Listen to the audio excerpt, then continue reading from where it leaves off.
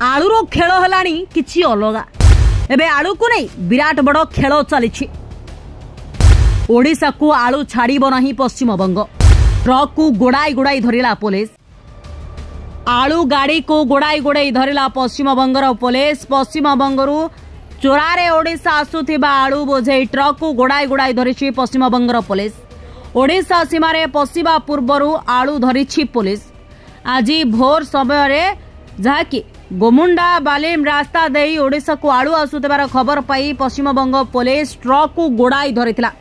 ଦ୍ରୁତ ଗତିରେ ଆସୁଥିବା ଫଳରେ ଆଳୁ ଗାଡ଼ିଟି ଓଡ଼ିଶା ଭିତରକୁ ପ୍ରବେଶ କରିବାର ପାଞ୍ଚଶହ ମିଟର ଲୈଲାଣପୁର ନିକଟରେ ରାସ୍ତା ପାର୍ଶ୍ୱରେ ଭାରସାମ୍ୟ ହରାଇ ଫସି ଯାଇଥିଲା।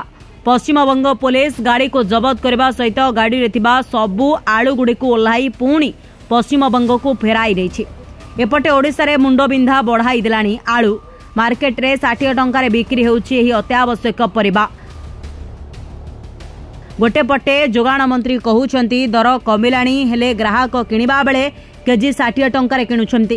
ଏହାରି ଭିତରେ ଆଜି ଭୁବନେଶ୍ୱର ଆଇଗିଣିଆ କୋବେରପୁରୀ ଆଳୁ ଗଦିରେ ପହଞ୍ଚିଛି ଆଳୁ। ଆଜି ସକାଳୁ ପାଞ୍ଚ ଟ୍ରକ୍ ଆଳୁ ପଶ୍ଚିମବଙ୍ଗରୁ ଆସି ପହଞ୍ଚିଛି। ବ୍ୟବସାୟୀଙ୍କର କହିବା କଥା ପ୍ରାୟ ଚାରି ଦିନ ହେବ ଆଳୁ ଗାଡ଼ି ଆସିନଥିଲା ଆଜି ପଶ୍ଚିମବଙ୍ଗରୁ ପାଞ୍ଚଟି ଗାଡ଼ି ଆସି ପହଞ୍ଚିଛି। ଅନ୍ୟପଟେ ଆଳୁ ସଙ୍କଟ ନେଇ ରାଜ୍ୟ ସରକାରଙ୍କୁ ଟାର୍ଗେଟ୍ କରିଛନ୍ତି ବିଜେଡି ବିଧାୟକ ଗଣେଶ୍ୱର ବେହେରା। ଲୋକେ କିଭଳି ଆଳୁ ପାଇବେ ତା ଉପରେ ରାଜ୍ୟ ସରକାର ଏବଂ ଯୋଗାଣ ବିଭାଗ ଗୁରୁତ୍ୱ ଦେବା ଆବଶ୍ୟକ। ସରକାର ଯେଉଁଠୁ ଆଳୁ ଆଣନ୍ତୁ ସେଥିରେ କିଛି କହିବାର ନାହିଁ। କିନ୍ତୁ ଓଡ଼ିଶାବାସୀ ଆଳୁ ପାଇବା ଆବଶ୍ୟକ। ଖାଦ୍ୟ ଯୋଗାଣ ଏବଂ ଖାଉଟି କଲ୍ୟାଣ ମନ୍ତ୍ରୀ କୃଷ୍ଣଚନ୍ଦ୍ର ପାତ୍ର କହିଛନ୍ତି ଦିନେ ଦୁଇ ଦିନ ମଧ୍ୟରେ ସମସ୍ୟା ସମାଧାନ ହେବ। Report smart news Odia.